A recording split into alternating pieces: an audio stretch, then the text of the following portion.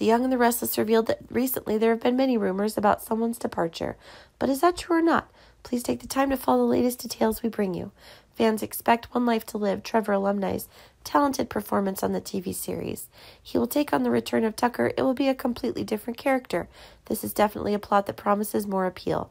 Will the writer direct this plot in what direction? Will Tucker really leave and bring a lot of regrets? Tucker doesn't have too much plot left for his show, for his character, but perhaps after his return there will be a lot to look forward to. He also had sex with Audra before, and this was soon discovered by Ashley. But this had been going on for quite some time, by the time they were in Nowheresville. However, in contrast to Tucker, Audra's plot is what makes fans extremely excited regarding Nate. Tucker also felt frustrated that Devon never wanted to accept such a father. He doesn't want to get into the business or take over McCall Unlimited. Maybe everyone had a partial view of him after all. Even Ashley wasn't happy about it. What will happen in the near future? Maybe Tucker should disappear forever from the TV series. Ashley never wanted to go back to his side, no matter what.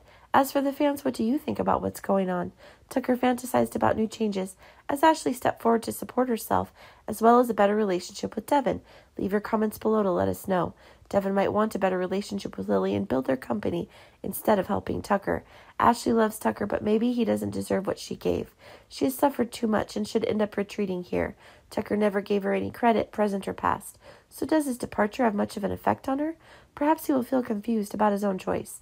His loved ones also spent leaving either one way or another. Tucker should probably make change, and that will make him well received if he's actually coming back this time around.